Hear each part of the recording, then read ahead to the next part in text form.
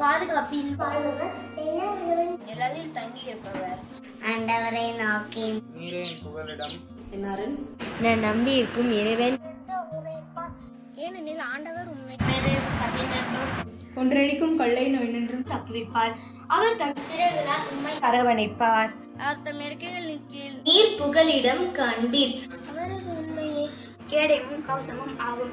இரவில் திகழிக்கும். நீர் அஞ்ச மாட்டீர்.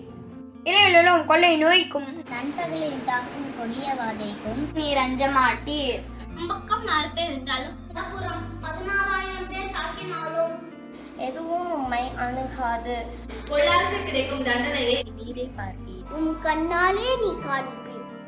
ஆண்டவரை உம் புகலிடமாய் கொண்டீர். உன்னதரை உம்முடைய விடமாக்கி கொண்டீர். ஆகவே தீங்கு உமக்கு நேரிடாது. வாதை உம் கூடாரத்தை நெருங்காது. நீ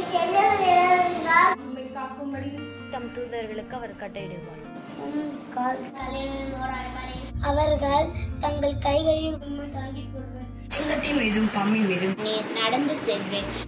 சிங்கத்தின் மீதும் இரியன் பாம்பின் மீதும் அவர்கள் என் மீது அன்பு கொண்டதால் அவர்களை விடுவிப்பேன். நான் வேற அன்பு கொண்டதால் அவர்களை பாதுகாப்பேன். அவர்கள் என்னை நோக்கி மன்றாடும் போது அவர்களுக்கு பதிலளிப்பேன் அவர்களது துன்பத்தில் அவர்களோடு இருப்பேன். அவர்களை தப்பவித்து அவர்களை பெருமைப்படுத்துவேன். நீதி ஆளால் அவர்களுக்கு நிறைவளிப்பேன் என் மீட்பை அவர்களுக்கு வெளிப்படுத்துவேன். இந்த ஆண்டவரின் அருள் அருள் வாக்கு இறைவா உமக்கு நன்றி.